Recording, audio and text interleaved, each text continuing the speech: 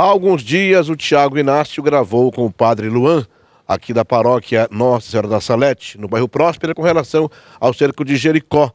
E agora tem um outro evento ligado à Igreja Católica aqui da nossa região. Padre, apenas para a gente informar quem nos acompanha, qual o balanço que o senhor faz a respeito do cerco de Jericó? Foi um, evento, né, uma campanha de oração muito boa, muito intensa. Né, durante os dias, né, como foi avisado naquela oportunidade, a gente produziu os nossos sonhos, conseguimos vender mais de 40 mil sonhos.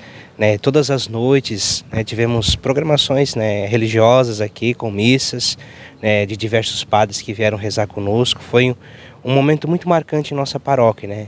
bastante participação, com vários frutos né, desse cerco de Jericó, inclusive um deles é o início né, das nossas missas com cura e libertação aqui na paróquia, né, que depois do cerco de Jericó, estamos rezando todas as terças-feiras, às 19 horas e 30 minutos aqui na Igreja Matriz.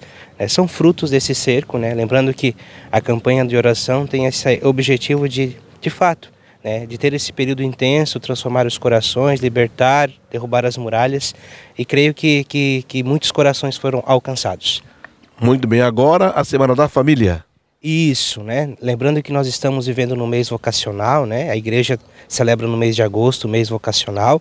Nesse final de semana a gente recorda do sacerdócio, nessa primeira semana. Na segunda semana a família, na terceira semana a vocação religiosa e no final, né, no último final de semana é a vocação leiga. E nós temos uma programação especial né, para a nossa Semana da Família, que vai começar no dia 20, né, com a grande concentração diocesana, que acontecerá lá no santuário. Todas as famílias estão convidadas, juntamente com todas as paróquias da diocese, para se reunir, uma vez que a nossa diocese está completando 25 anos de história. Então, a nossa abertura será junto com toda a diocese. E durante, eh, de segunda a, a, a, sábado, a domingo, na verdade, nós teremos as nossas programações especiais. Segunda teremos o Terço Luminoso, lá na Gruta Nossa Senhora Aparecida do Ceará. Na terça-feira nós teremos a missa de cura e libertação, em especial para as famílias, aqui em nossa igreja matriz, 19h30. Na quarta-feira nós teremos três missas em três comunidades, com bênção especial né, dos casais, né, lembrando que é família, berço das vocações, e também de toda a família. Na quinta-feira também teremos missa com bênção né, das famílias e dos casais.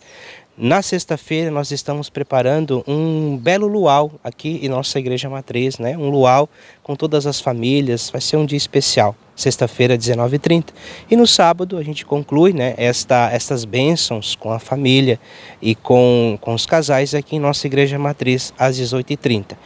E finalizando a nossa Semana da Família, dia 27, nós teremos aqui a nossa tradicional festa das tendas. Então, desde as 8 horas da manhã, né, todas as nossas comunidades estarão reunidas aqui nesse pátio, né, com, com um café gratuito, com brincadeiras, com diversões, com pequena gincana, com orações, né, que, que se concluirá às 16 horas com missa. Então será um momento de partilhar com as famílias de nossa comunidade paroquial.